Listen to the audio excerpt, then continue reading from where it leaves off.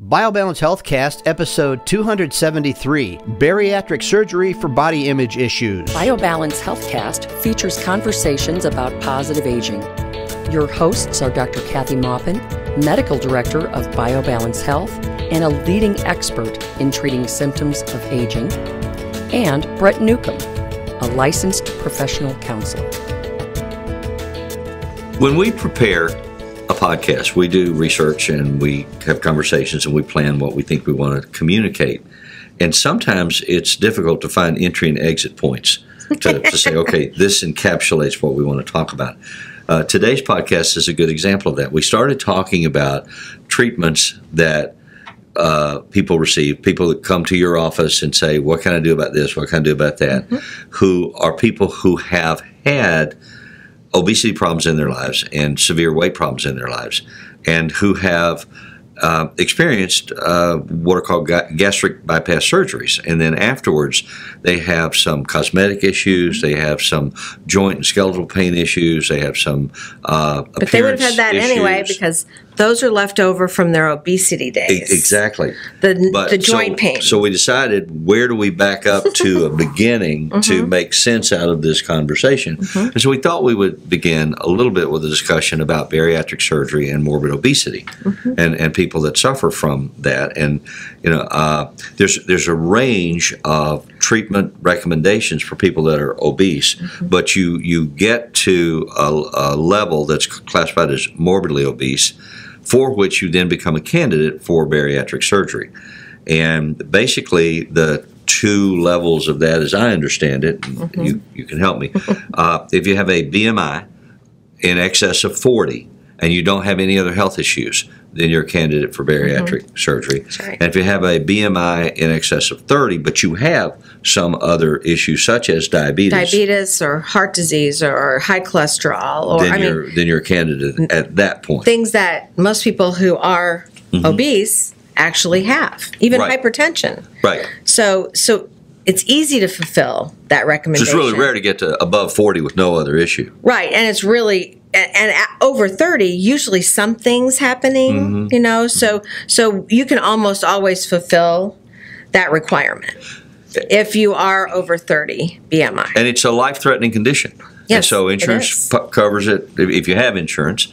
Uh, I remember my wife was a teacher at a school district that's self-insured, mm-hmm. and they had a number of school teachers in their uh, total staff in the district who suffered from obesity issues mm-hmm. and were candidates for bariatric surgeries, which are pretty expensive. And mm-hmm. uh, and there was a big discussion as they created their uh, insurance pool outline. You know, what will we cover? Mm-hmm. What will we not cover?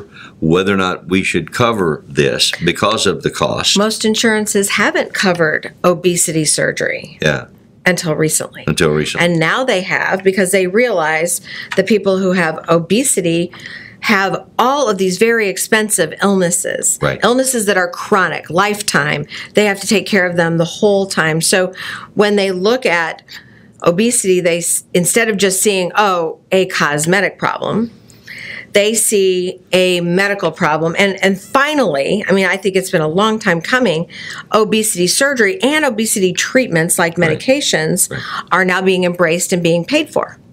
So, because again, we're looking more holistically at what are the potential costs through your lifetime of illnesses versus what's the cost of a given procedure that could help you avoid those. And they're also looking at the cause of obesity. Obesity can be psychological, mm-hmm. but it also can be genetic. Mm-hmm. I mean, there there are genetic tests for people who tell tell me that that person never feels full. Yes. I mean that you're born with that. You can't do anything about that. The if you never to identify that. If anybody, I mean, most people in the U.S. have never been hungry, but if you have done a you have been involved in some type of diet or fast, you know what hunger feels like. These folks never feel full. They are always hungry. Now that's that's like pain. It's almost like chronic pain. So you have to get you have to think this is a real problem. If I was hungry all the time, I'm, I don't think I could refrain from eating. Well, there's a condition called a ventromedial hypothalamic lesion. Say that three times. No. I don't know that I can. That interrupts the ability, your body's uh, sensor measuring process by which it says you're full. Mm-hmm. And so they feel hungry all the time, and they don't know when to stop eating. So that's a brain lesion. and they, it's a brain lesion. Uh, you could have a stroke anywhere. it could exactly. be there, It could be or you could have you could have a lack of that development as a child. And societally, there are all these damaging perceptions about you don't have any self discipline, you don't have any strength of will, you're a slob. You it makes it a personality issue instead of a medical issue. So Instead of a finally, medical condition, they have brought it back to medical, hopefully and and it is psychological, but that doesn't mean it's personality. right. It's psychological because once you are at a certain girth, then you have to feed that girth. So then, even if the cause of it, Well, and then, and then there are there. psychological issues. You get you get a habituation effect. Uh, comfort foods. We were talking before Mm-hmm. we prepared this about e- everybody has comfort foods. When you're really upset, when you're depressed, when you feel bad, when you don't have any energy, When you have no love, you you eat crave chocolate. certain things. Yes. when you want love, you eat Well, and, chocolate. So that and they know what the it comfort going foods are. Mm-hmm. the way back to the oral stage of development when whenever you felt any imbalancing emotion somebody put food in your mouth and you learn to eat to make yourself feel better Mm-hmm. A patterning. there are those among us who still flirt with that behavior Mm-hmm. throughout our lifetimes you know if i'm not feeling really good i crave eat ice chocolate Or- chocolate ice cream Yeah. Mm-hmm. my wife eats salt like chips and you were telling me yesterday there's a crunch factor that There's yeah, anything that you crunch, Uh-huh. like th- liquid liquid diets usually fail because because you get so depressed on a liquid diet because your serotonin drops. That hormone that makes you feel happy or not depressed, how you, it increases when you crunch. So if you're crunching potato chips, you're making yourself happy. I wonder if that's why some people crunch ice. Mm, ice is a little different. Ice can be a lack of a mineral. So, and we we we have names for it, and I can't recall an ice crunching name right now, but but it actually as hell is. is what I would call it. Yeah, well, some people do it psycho- because it's psychological, No, and I- some people do it because they really need that mineral. Right. But crunching, but it may come into play there too because crunching does increase your serotonin. Well, let's run through some of what we know uh, just informationally about bariatric surgeries. There, there are several different types. There's Mm-hmm. one called a gastric sleeve, where they put a band around your stomach and they can control by the amount of fluid they put in this It's like package. yeah, it's like a donut. they can restrict, constrict, or release the stomach so that you can uh, control the amount of volume that the stomach will contain. all of these surgeries have to do with decreasing the amount of food you can eat at one time.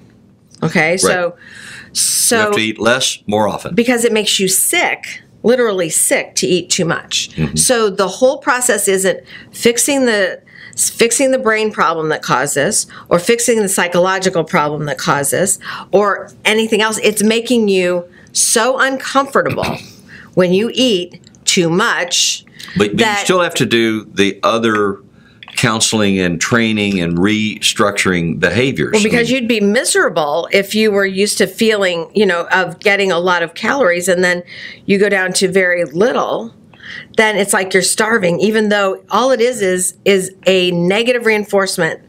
You feel sick when you eat too much. working as a therapist over the years, I had a number of clients who had experienced bariatric surgery Mm-hmm. and, and were struggling with the after effects of it. Mm-hmm. Uh, the fact that they had to take a certain kind of vitamin because their body wouldn't digest normal vitamins, but Mm-hmm. you need vitamins. They couldn't absorb it because it, it usually they have had that obliterated by having their stomach made so small or or their small intestine Right. made shorter. Right. Uh, the fact that, uh, I mean, one particular client said, I can't eat boiled eggs. I hate them, and that's a big part of my diet right now. It's what I'm allowed or required to eat. And so I'm really in a bind because what I'm angry about is uh, whatever. But as a result of that, the way I take care of that anger is I eat this comfort food. And I, and so we talked about your eating, your anger, you know, the classic psychotherapy jargon. Uh, but it was a real struggle for this individual uh, to maintain the weight loss. A lot of individuals who have that surgery, who lose a dramatic amount of weight, begin to put it back on. And if they don't learn to reframe their thinking and retrain their habits, they come back and they they've blown through the surgery.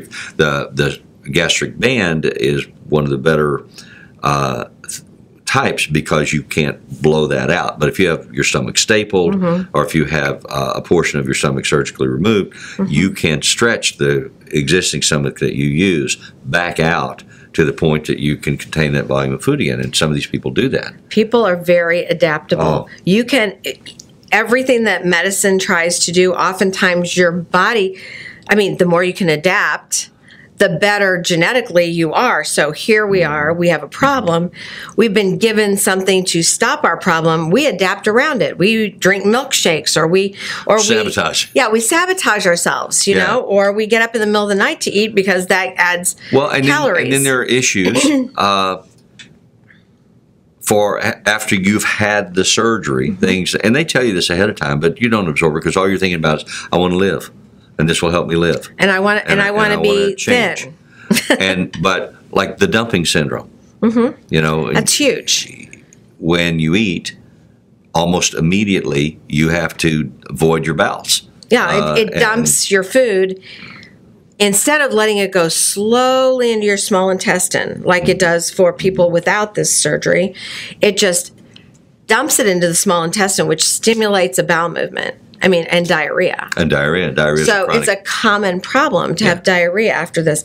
We're not trying to tell you not to do this. We just think your expectations should be informed. informed because then it's more likely that you'll remember you were told this and say, Yes, I was told this, and it's mm-hmm. worth it. Mm-hmm. Because we forget what we were like before. And another chronic issue, not a consistent, not universal, but the, the development of dental problems because of reflux and because of vomiting.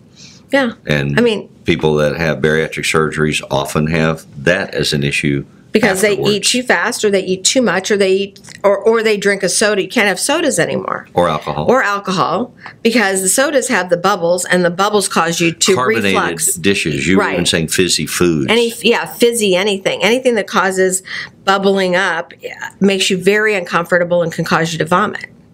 Is that a, a, a gas Yeah, yeah. issue in the system? Yes, it produces gas the way your the stomach, stomach. Mm-hmm. deals with it.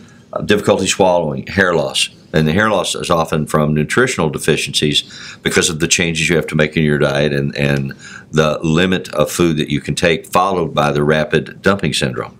So Right, your so- body isn't absorbing the, The way vitamins, it's used to the absorb. vitamins and protein that you need for hair. Yeah. But if you, but you know, the surgeons that do this do give you information about what you should eat and how you should, how, the vitamins that you should take, Mm-hmm. and those should, if you follow that, you should be able to not lose your hair. Now, my clients, as a group, and there were several of them, uh, consistently complained about not being able to eat spicy foods anymore. Right. And some of them really, really loved spicy flavors. Mm-hmm. Uh, and now they can't have them, and their perception is they can't have them for the rest of their life. And they're, again, frustrated and angry about that. You know, it's kind of like be, be careful But what you ask for, is- you may get it. But living is much more important than eating It spicy is. foods, and many of us don't eat spicy understand foods because it it hurts us, gives Well, I us think I have more sympathy with those people. I know you do.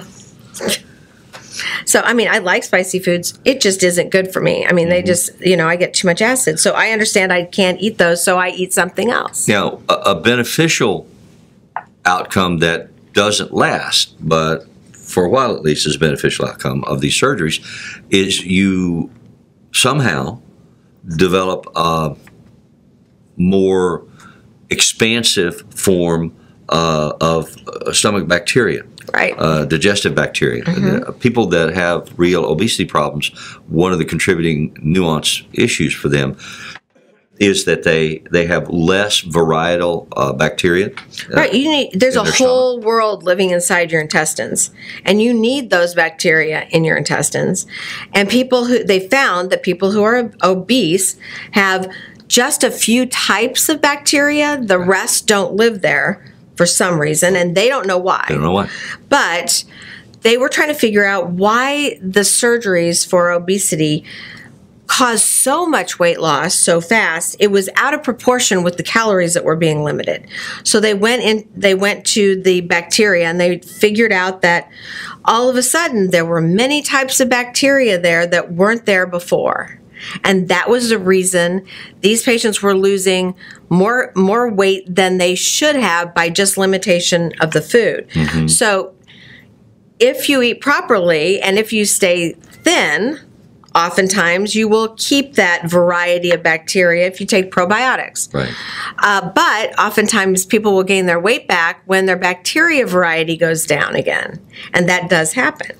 So part of what we're saying is you have to be smart and informed and disciplined even after you have this magical weight loss. It's life saving. I mean, it can keep you from having diabetes the rest of your life. It can keep you from having heart disease. It can, I mean, it can make an unbelievable change in in your in your health and in your life. But it is a drastic answer I had a client to the question. of whom I am so inordinately proud. This woman worked so hard after having bariatric surgery and suffering through all those adaptations and putting a lot of the weight back on and then mm-hmm. taking a lot of it back off. When when I first met her and she first came to the office, she literally struggled, physio- physical agony, to walk from her car to my office. And That, that wasn't a big walk. no, 50, 30 yards. Now she runs marathons. I know. And that's she's lost awesome, that weight and she's kept it off. And, and hooray for her. I, I just am so proud of her and so uh, happy for her that her life has changed. Mm-hmm. But not everyone can do that. And, Mm-hmm. and part of the, the, the challenge is the damage that's been done over a lifetime of obesity to your structural system, to your knees and your hips and your feet and the joints and the ankles. I, if you think like an architect gosh. or like an engineer, talk about stress load and weight load. my my knee is the same same size and and structure as the knee of somebody who weighs 250 or 300 pounds. So my knees holding up 135 pounds. Their knees holding up twice that much. Three, four hundred pounds. so just structurally for years, structurally that damages joint by gravity and by pressure and and the more weight you have, the worse the joints get. And then your gait changes and that and that rubs your joint down and then your hips go and I mean seriously, it is it is one joint at a time because of weighing too much. but now you can have those replaced. You know, Right. life, life living is expensive. it's better than being dead, and it's better than suffering and you being have options. I mean, like, and I'm not in contact with this woman anymore, so I don't know if she's had any joint replacement Mm-hmm. Uh, but she now runs marathons and has lost that weight and is an emotional support for a lot of people with with weight issues. And and weight issues are a spectrum. It's not like okay, you're skinny or you're morbidly obese. I mean, there's, there's a whole range, and many of us struggle with that. And so, uh, if you live to get this surgery and it changes your life and it creates a window of opportunities for you, there are continuing levels of intervention that you must make and changes that you must make to your diet, to your exercise pattern. You need medical support, you need psychological support, you need emotional support, you need mm-hmm. disciplined thinking based on information about what works. And, and so it's hard to people change. come to your office and say, "Help me." Because I'm in this place, Mm-hmm. and there are things that you can do that you can help in terms Mm-hmm. of nutrition, in terms of uh, uh, you don't do this, but we were talking about the bacterial thing. Uh, Mm-hmm. One of the things that they can do is a, a fecal transplant to put new bacteria in. I really don't want to think about that, but that's Well, nobody does, but i i- if it helps you survive and it helps you live a better life, then it's Then an option. that you- seems to be an easy there answer. are procedures that you can find and doctors that you can find to help you. Where you become helpful Mm-hmm. is in the next level of survival, Mm-hmm. uh, and and we're going to do a uh, secondary podcast that talks about that. The issues, for instance, insurance will pay for the surgery for the bariatric surgery. What it won't pay for is the adjustments to your skin afterwards. because you have a, a, And a so you have these huge skin, skin, flaps right? that were filled with the obesity, and now that that's gone, those are just there. And, They're there and they're hanging, and you have and to so dress around them and walk around them and work around them, and they're really different. And so you're you're subject to it makes it very hard to a dress. whole new level of negative attention mm-hmm. that you thought you'd get rid of if you lost your weight. And so Not, and you can have it. You can have it fixed with plastic surgery. you can, but it's expensive, and Yes, and insurance it's not covered. pay for it. That's not covered by insurance. and you know you can get the knee replacement or the Mm-hmm. hip replacement, but you still are going to have to have the skin adjustments made. I want to add one more thing to this that, okay. that you and I hadn't really talked about, but I just I was just thinking about that is that many of my patients have um, come to me after bariatric surgery. Right. So many of them have already gone through this. They've already I asked that question on my questionnaire um, because I want to make sure their nutrition is right. I want to make sure that they are able to keep their weight off. But also, once you've had bar- when you before bariatric surgery, fat makes estrogen, and not the good kind. And so that causes your body to be to bind up its testosterone and decrease the level of active testosterone. So I have to look at that when they decrease their body fat. Of course, that gets better, but sometimes they don't all, re- all recover. So that's one of the reasons they still feel tired. Their testosterone is still low, and over time has gotten lower, just like everybody else's. So they and they need to build some muscle because they've been so overwhelmed with fat that they haven't been moving around. And so, so testosterone helps them build muscle, and then the lo- the fact that they lost the fat decreases their estrogen levels, their bad estrogen, not the good one, so that so we're making some progress with them. They feel better about their body because they make some muscle to hold up some of this skin. Yes. But it doesn't take the place of plastic surgery. Well, and I remember conversations with women who had had the surgery, and, and I haven't had any patients that were men. All of my experience has been with women.